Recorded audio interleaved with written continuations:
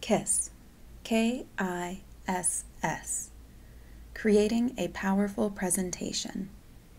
If you remember KISS, you will have a great PowerPoint presentation.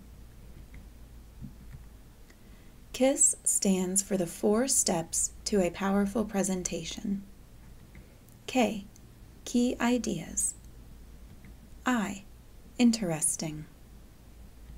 S. Simple. S. Structured.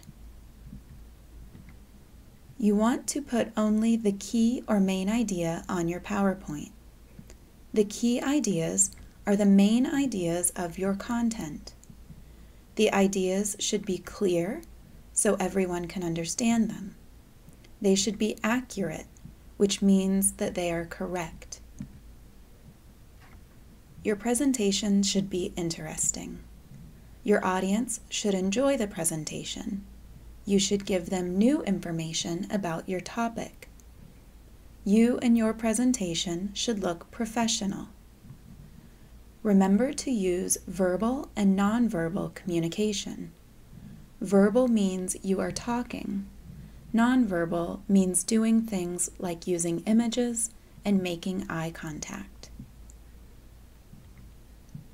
Keep your PowerPoint simple. Use six lines or less on each slide. Do not use more than six words on each slide. Use 32 point font and make sure it's easy to read. Don't use too many colors or too many special effects. Keep it structured. Take the time to organize your ideas.